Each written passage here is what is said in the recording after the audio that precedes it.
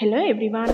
In this video, we'll learn how to install Visual Studio 2022. Go to your browser and then type Visual Studio 2020 and hit enter. It will take you to Microsoft official website. Click on this link here. Here you can observe Visual Studio 2022 is now available. You can observe here download Visual Studio drop down menu. Click on this drop down menu.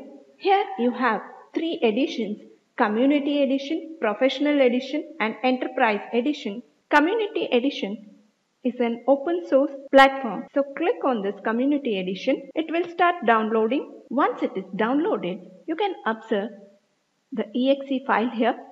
Just click on this and you are directed to Visual Studio installer.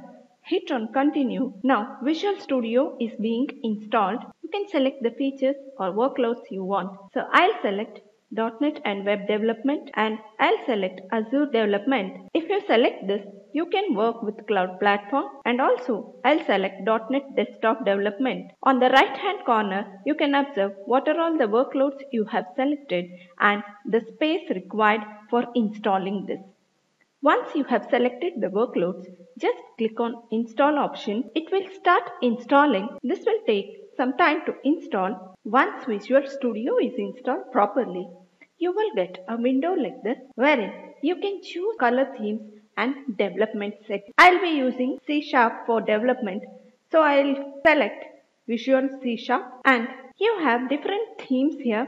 You can choose according to your wish. I'll go with blue one and click on Start Visual Studio. You can observe Visual Studio 2022 has been installed successfully. To create a new project in this Visual Studio 2022 IDE, you have to click on create new project. When you install this Visual Studio 2022, .NET 6 will be installed by default. Thanks for watching. Do subscribe to our channel and hit the bell icon for future updates.